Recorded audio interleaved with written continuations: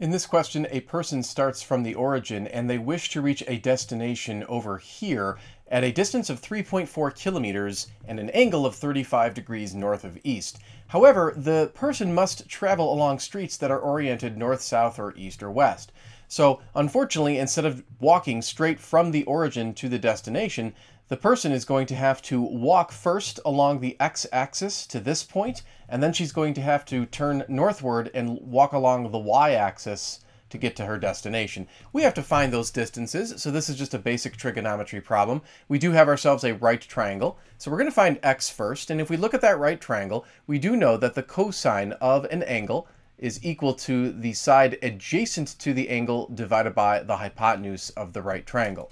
Now looking at this figure, we can see that the cosine of 35 degrees would equal the adjacent, now the adjacent side to the 35 degree angle is x, and then of course the hypotenuse is 3.4 kilometers.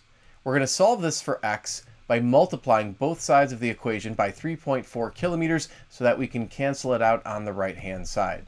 And then we would pick up our calculators and we would punch in 3.4 times the cosine of 35. We get 2.79 and this will be in kilometers.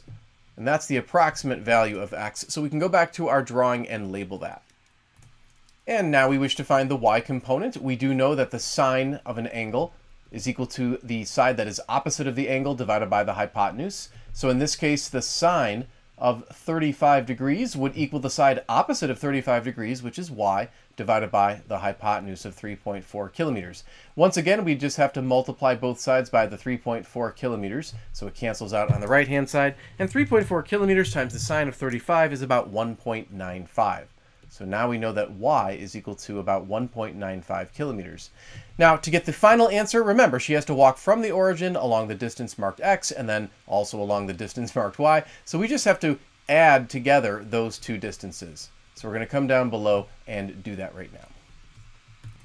So we have the x, which is 2.79 kilometers, plus the y, which was the 1.95 kilometers. And if we add those together, we get a total distance of about 4.74 kilometers. So this would be the correct answer to the question. Thanks for taking the time to watch the video. If you're interested in making a small donation to my cause, I would greatly appreciate it, but please do not feel obligated to do so.